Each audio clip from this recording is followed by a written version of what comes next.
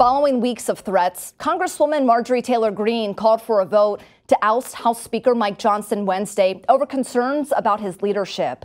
Within minutes, the motion was decisively rejected, with most Republicans joining Democrats in a 359 to 43 vote. 11 Republicans voted against tabling Greene's resolution.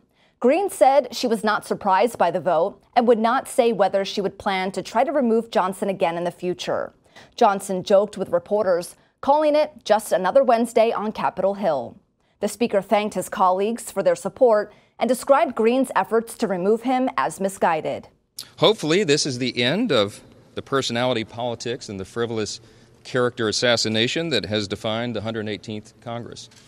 It's regrettable. It's not who we are as Americans, and we're better than this. We need to get beyond it.